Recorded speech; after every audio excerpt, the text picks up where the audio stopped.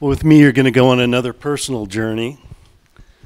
And, um, you know, e- even though uh, I had something to do with uh, bringing the CAC downtown with Kathleen Nathan and several others, uh, I prefer to talk about what I'm doing now. So let's roll them. Here's an aerial view of the El Rancho Vegas in 1948, about the time I was born. It's the corner of Sahara and the Strip, which has a lot of meaning for me now. And uh, these 65 years have brought about a lot of changes. You notice there's not, not even industrial road. Here I am in the center of the photo. Uh, I'm at preschool at Las Vegas High School. My parents moved to Las Vegas in 1936 and taught for many years at Las Vegas High. And I grew up in that beautiful Art Deco building. That was my playground. My parents' pioneering efforts uh, here in Las Vegas inspired me. They loved Las Vegas. Here's a picture of me when I was 16 years old for the Las Vegas Sun. They were honoring my artwork in high school. And there's me graduating from UNLV, the first graduating class uh, from UNLV in, B, in the BFA program. And uh, here's my son and my, myself in 1983. That's Brooke. And uh, this was a shot by David Brown for the Las Vegas Sun. And uh, these were lean times where I was teaching at both UNLV and, and at Community College, which is now College of Southern Nevada. And uh, I came back to Las Vegas in 73, and I dealt 21 this whole time to pay back my bills for my Master of Fine Arts degree from the University of Washington, and then uh, taught.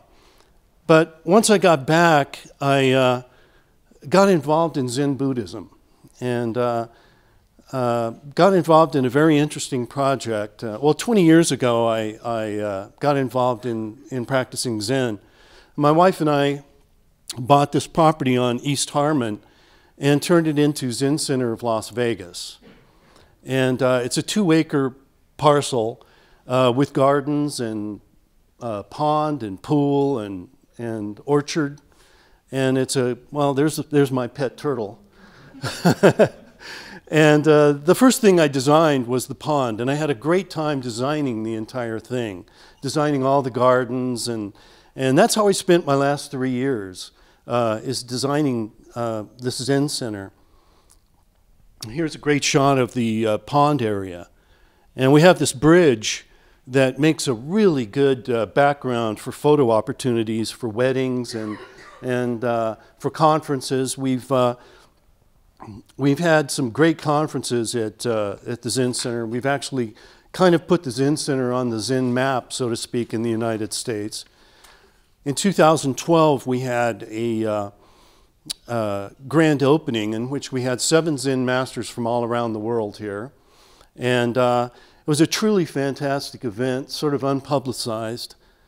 Here is the uh, Dharma room, which I take particular pride in, designed this. The floor is made out of cork, which is a really wonderful, uh, a really wonderful uh, surface. It not only insulates, but it, it's very quiet. And the cool thing about it is it doesn't kill the tree. They harvest it every 10 years. This is part of the garden. This is the series of uh, 18 lohan, uh, hand carved out of uh, green granite. And uh, they represent the enlightenment of the Buddha. I especially got a kick out of the guy cleaning his ear.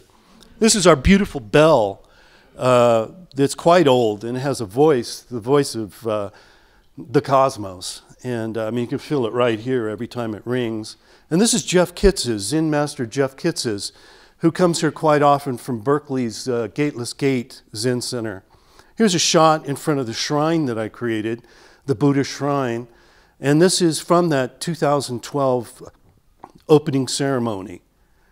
And uh, so we have many pathways to walk in meditation. We have uh, a great orchard. This is a shot that I'm particularly fond of. Uh, Zen Master Mark Houghton uh, talked for 15 minutes, and it was the funniest, the funniest bit I've ever heard in my life. So we were rolling. I, I don't know. It's, I, I didn't realize Zen could be so funny.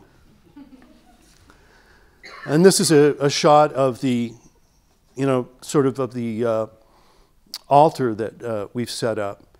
So that's some of what I've been doing for the last three years, and uh, I'm hoping that you all could come out and participate and take a look at it. And, and uh, this is my current work that I'll be showing at Trifecta Gallery uh, in March of 2014.